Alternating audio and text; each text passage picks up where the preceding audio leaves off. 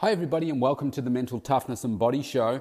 My name is Robb Evans, and I'm your weight loss coach, health strategist, and internationally published author, helping take your life, your business, your health and fitness and mindset from where you are to being unstoppable. And today, the day of recording this, it's the 28th of December 2020 in Melbourne, Australia. And this is a time of the year where many of us are perhaps on leave, maybe until early January, maybe till the second week in January. And I find that it can be a bit of a funky time where you are not really sure what you should be doing, you're catching up with family, you're eating food that you don't normally eat, uh, maybe drinking too much. Uh, you're catching up with families, uh, traveling a lot further away, perhaps, and life is just different to what you're used to knowing. So it's the it's not like you're maybe on holidays, but you are certainly not in the normal routine of your day to day work and that busyness. So it can feel a bit funny. It's like, oh, well, should I be doing this? Should I be doing that? Um, you're eating different foods. You're feeling a bit, oh man, maybe you've got a hangover. Maybe you're feeling bloated. Um, you're just out of you're out of sequence. You know, you, I'm sure many of you will know what I'm talking about. Now, we're all different, of course, but today's topic is about creating the perfect routine for you. So, with this time that we've got right now, because even me, like I was up at 4:30 a.m. this morning uh, to be working with clients. So it's a public holiday here, uh, but I am working uh, with clients. I've tried to face to face work, get it all done before lunchtime, and then I can spend the rest of the day uh, doing creative work and doing some, some other things with my, my business. But then also um, acknowledging the fact that I do need to be resting as well and taking a bit of a break. So I'm taking a bit of an, um, you know, where I'm normally working a 16 hour day, maybe today I'll only work a 10, a 10 hour day, something like that. Um, so it's still, for me, a way of giving back to me. Um, so even I have got more time. I've got more clients that are away at the moment. So there's just a more time in my schedule to be doing some other things. So I'm sure that many of you are like that as well. So what I want you to start thinking about is creating your perfect routine. What would that look like in every sense of the word? You've got some more time right now, so why not think about how would you create your perfect routine in your day? Now, if you say, well, what are you talking about, routine? Think about every aspect of your life. What would be the perfect routine? Think about your exercise. Think about your food. Think about the time that you spend with your family, your partner. Think about what you're doing at work. Thinking about your business, how you're structuring your day, etc., etc. Think about all of those things. Now, I want you to take away all restrictions that you perceive that you have. And I want you to create what would be your perfect day, what would be your perfect routine in terms of how you would do things. So that's step number one. I've got eight steps here. That's step number one. So for me, for instance, in a perfect scenario, now I can't do this all the time, but um, a perfect scenario for me would be getting up before sunrise going and doing my cardio. For me, which is walking, I'd be getting up and going for a walk. Ideally, it would be outside, um, and maybe I could see the sunrise. Um, but yes, that would be the first thing that I would do. I would come back home. I would be having uh, having my breakfast. I would then be uh, setting myself up for success for the day. What does that mean? That means I'm looking at um, creating a, a plan for my day of what are the outcomes that I want to achieve today. I'd be then making sure that I've uh, scheduled or blocked out those things in my calendar um, to make sure that I was working on them for the day and getting all of those things scheduled so I can set myself up for success, knowing that, okay, if I do all of these things today, that's going to be a great day. That would be the, um, the next thing that I'd be doing. I'd also be, maybe I was out walking, I'd be listening to something that was going to be uplifting for me, something that was going to inspire me, educate me, motivate me. I'd be listening to that, some sort of podcast or a program or something like that. I'd be getting that done. Um, so you've got the idea. So I'm, I'm working through my whole day, working out what does that look like for me? How would I make it successful? And they'd be uh, certainly the elements that I'd be looking at. I'd be looking at also where am I getting in my strength training? When am I going to do that? Uh, because that's a critical part for me. Have I got that blocked out in my calendar? What are my appointments for the whole week? Am I getting enough done? Am I growing my business? What are the strategic things that I'm going to be doing? What, you know, and I just go through each element of what I would set myself up for success. Certain parts of the day where I'd maybe post on my, um, you know, social media side of things because I find I need to do that, get that right at the start of the day because by the end of the day I really can't be bothered doing that. Uh, making sure that the, the key parts of the, the day, my mornings, normally where I'm most creative, that's when I want to be creating um, you know, like new marketing campaigns, doing certain things that require a lot of creative energy for me. Maybe when whether it's writing, um, doing those tasks that just require a different part of me. Uh, when it comes to uh, also spending time with my family, I'd be looking at okay, so when's a good time to be spending this time with the, the kids? Um, doing some exercise with the kids, doing all that kind. In a perfect world, I would like to be, um, you know, every couple of days going to exercise with the kids, like just going out for a walk. We all do that together, just sharing things. Uh, the later part of the day, also sharing things with the kids and having experiences, uh, making sure I'm remaining connected with them etc., uh, etc. Et so you've got the idea. It's going to look different for me than it is for you. For you, you, you might say your perfect routine is not to work. Well, for me, my perfect routine includes work because it's a really important part of me and what it is that I do. So that's a really important, important part. So then the next step of this process, once you've done that, and that might take some time, well, it will take some time, I would say set yourself seven minutes. I find seven minute blocks can work well. It's kind of like a brainstorming session. Get out a sheet of paper or write it on your computer or something. I find that maybe this can be faster on the whiteboard or um, a, a notebook or something, and just write. What would your perfect day look like? What would your perfect routine be? Think about the people you're spending time with, your career, uh, your health, your fitness, your food, all of those things. Think, think about all of that and write it out. Step two is then to write down so, what are you doing now? How are you spending your time now? Because the way that I've worded that question, the first one, is the chances are you are not living that right now. You're not living the perfect routine, the perfect day right now. We've all got opportunities to improve what it is that we do on a day to day basis.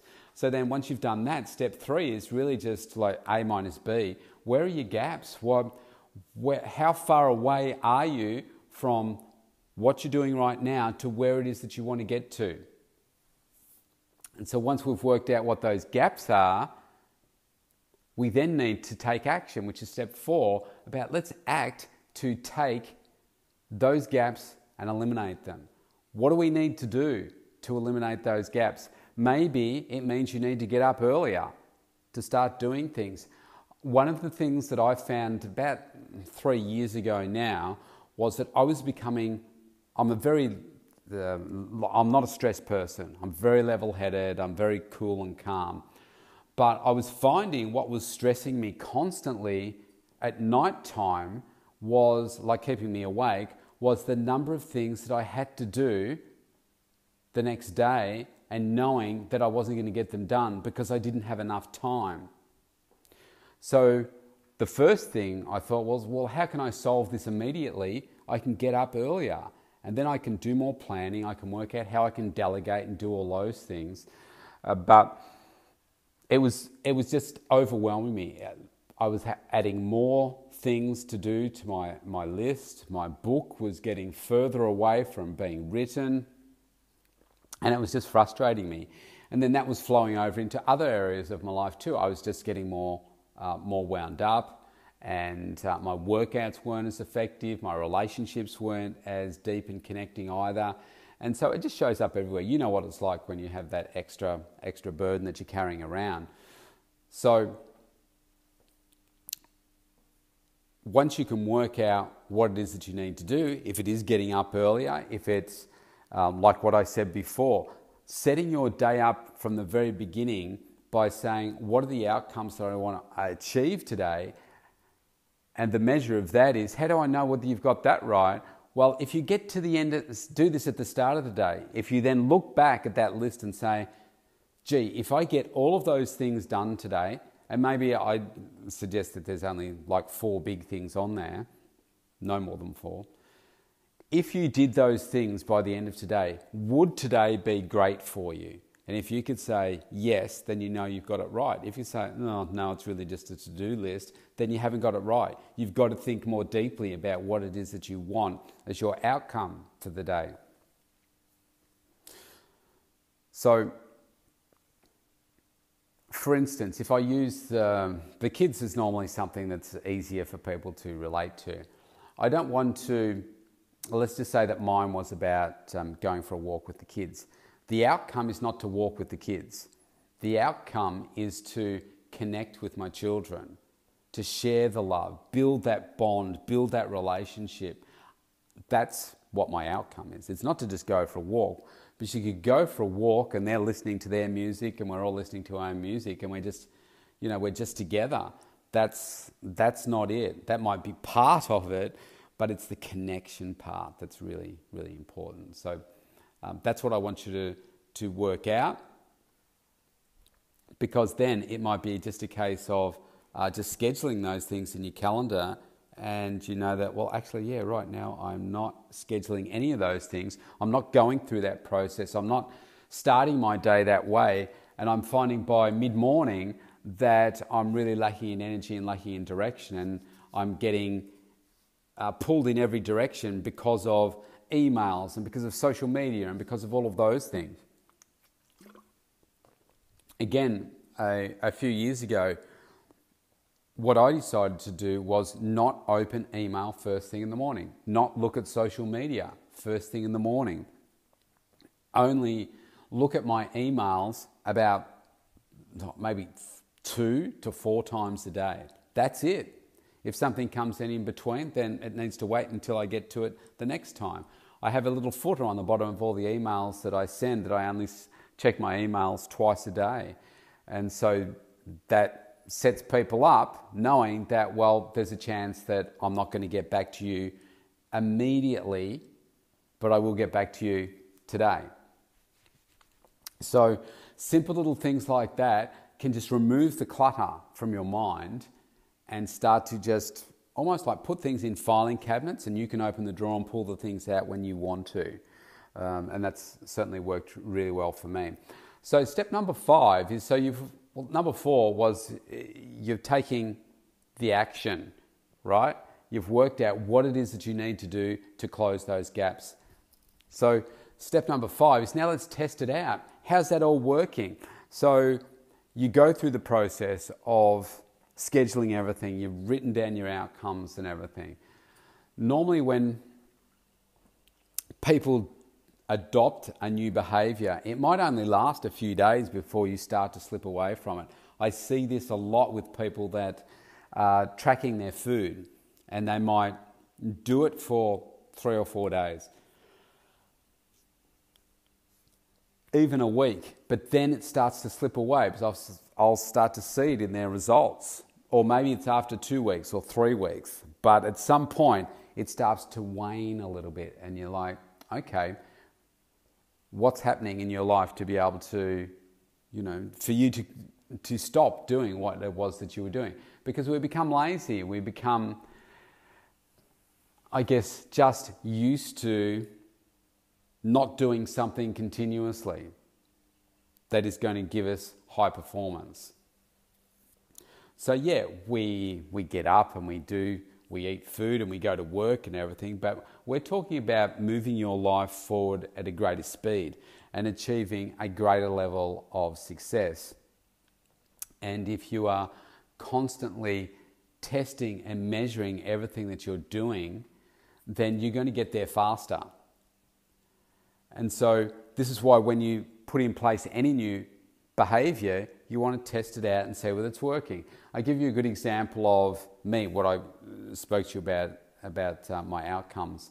Um, so you've all heard of, uh, I'm assuming, Brendon Burchard. So Brendon Burchard, I don't know, it was 12 months or more ago, probably a couple of years ago now, he came out with this new planning journal, and it was a hard, hard copy uh, version of it. And it worked in, I think it was in quarters, so uh, one for three months of the year. Uh, so I ended up getting one. So I thought, oh, yeah, it sounds like a really good idea. And I, I got it and I looked at it and I thought, wow, these are all the things uh, you know, that he wants you to do each day, each week, etc., etc. Uh, now, I did it for a week. Might have only been three or four days actually. And it wasn't doing it for me. I was finding I was spending more time, uh, you know, filling out the, the bits of paper, and I wasn't getting the outcomes that I really wanted. I found that there was a lot of repetition. Uh, it just it just didn't work for me. And I've, I've tried a, a, number of different systems before. I've used Tony Robbins' system as well for uh, for time managing time, and there's components of that that I've used and still use, but I don't use the whole thing. Uh, so you've got to kind of find, find what it is that works for you. If it's completely not working for you, well, you've got to maybe push yourself a bit and say, well, am I just being critical here? Am I being lazy because it's different? Or is it really not working for me? Can I come up with a, a better solution? And so that's what I did. I came up with a hybrid solution that works for me. It's very efficient. I do it once a day and I get the outcomes that, that I'm wanting uh, from doing it. So you work out your own. That's why you've got to test things. And then step six is about you. If it's not working for you, change it. So like I did, I've done these time management things before. I thought, but yeah, that's not working for me. That I don't work like that. So I'm going to do it with this twist, and uh, yeah, do it that way. Now that's not to say that you, you should tweak everything because there are some things that you know they've, been done by incredibly successful people. Obviously, it's worked for them, and should you not just challenge yourself to uh, you know push through some barriers that you create for yourself so that you can you know see the benefit of doing something uh, that the expert has has said. So you've got to weigh weigh that up a little bit because many of us just give up too easily. And I, I, guess the reason that I stopped with the Brendon Burchard example was because I'd done a number before and I could see that it was, you know, like a bit like this and a bit like that. Uh, but it just wasn't me. It just didn't just didn't agree with me. I thought I'm going to waste my time with this. It doesn't drive me, and I think that's the thing. If when like the little simple model that I explained before that I use, um, it, it's quick, it's easy to do, and it drives me. And I'm excited about doing it because I know that when I do that, I create my outcomes, I then schedule them, and I keep sticking to that all day. I know when I get to the end of the day that I feel good because I've accomplished those outcomes and I've conditioned myself to putting better quality outcomes on there so that when I do get to the end of the day and look back, I say, actually, yeah, that, I feel good with that. That's good. I've had a good day. I've done I've done what I said that I wanted to, and that feels good. Because none of us want to go through the day, be super busy, get home, and say, I didn't do anything. I didn't feel like I accomplished anything today. You know what that's like. I mean, right now, for me, uh, when I compare what it was like uh, through COVID and lockdown, and I had a lot more free t- freer time, I was creating a lot more things. And when you're creating things, for me, that makes me feel good. And I felt like, wow, look at all this that I'm doing. This is fantastic. I'm creating new things that are going to benefit people anywhere in the world. That feels really good. Right now, I'm not meeting that same need within me, and that doesn't feel as good. So I've got to work out some changes over these next few days that I'm going to do so that I can achieve those things. And that's one of my things on my outcome list for today. So that's step six make the changes, Step seven, once you've made those changes, re implement and assess. Like when I first started doing that process I just outlined, uh, I didn't get it right straight away and I had to change some things. I made it too complex for me to start with, it took too long. And now I find if I take 15 minutes at the start of my day and do all those things and set myself up, then I find that really works. I also find that where I go through periods of time where I don't listen to podcasts and don't listen to those messages, I find I am definitely not as driven. So I've got to make sure that I schedule that time as well because I want to always be driven. I want to continuously listen to new content, continuously look to improve myself and implement change. And that's what step seven is about. Re implement, reassess again. And the last step is then you just keep doing it. You just keep doing it over and over again, and you'll find that uh, you'll tweak some things here and now. The key is about coming up with that perfect routine for you that inspires you, that drives you, that gives you the results, and keeps on delivering. That, for me, has taken me probably 30 years to get to that position where I, I know the things that work for me, and I know as soon as I take out certain elements, that's when my performance starts to drop. So, for instance, um, if I take out my 10,000 steps a day, if I'm not getting in 10,000 steps a day, after about three days, if I'm down around the, oh, the, the 5,000 to 7,000 mark, I find that I start to develop a pain through my right glute and it goes down into my hamstring. And what does that do? That causes me to not sleep as well. I toss and turn, I'm in a lot of pain, which means that I'm then not energized and refreshed in the coming days. And so I know that I need to do that. I know that if I don't work out, say I didn't work out for a week, I would go crazy. I mean, I, I literally don't feel like I'm myself. I don't feel good. I don't feel energized. I don't feel focused. I don't feel like I'm bringing my best self forward. And then that, that starts to show up in other ways. I can feel a grumpier. I can be short with the kids. I can be um, you know, not the best coach in the world. Uh, so I know that they are warning signs for me that I need to get those things done. I know that when I don't set myself up for success each day, guess what? Each day is not a success. When I don't listen to the right messages, the right content, then again, I'm not creating the best version of myself. I know when I don't eat the right foods, then that also shows up in me in many different ways that I don't like. So I've conditioned myself over a long period of time to know this, when I do X, Y, Z here, that's when I'm performing at my best.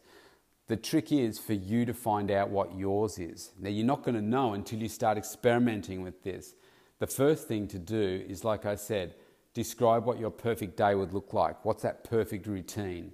And then it's about creating that routine, practicing it, making some changes, keep going until you get to that point where you know, yes, this is what it is. And then over time, you might find that that changes a bit because the things that are, you know, once in your perfect routine, so like my girls, for instance, um, they're going to get to the stage where they become adults, they move out, and I'm not going to have the daily, well, the type of daily interaction that I do right now. I can still call them and do all those things, but the reality is it probably won't be every day. And it's different to when you're in person and giving them a hug and a cuddle and all that sort of stuff. So over time, that part of my routine will change. The nature of my workouts will probably change as well. Uh, so you know, everything is subject to change. The point is that you need to keep evolving and create that perfect routine and environment for you so that you can perform at your optimum. I'm suggesting this now because you're going to have some space, most likely, away from your normal hustle and bustle. So let's take that time out to think about creating this now so that when we get to 2021, when you get to going back to work and doing all those things, then you can start to get this year or next year off to a flyer because you're creating these new routines, which are just putting a, a more productive, more efficient, better version of you forward. If you want to have more of a discussion on this, you can go to the mentaltoughnessandbodyshow.com. You can opt in for a free consultation with me there. Love to have a connection with you. And in the meantime, stay safe, and I'll see you tomorrow.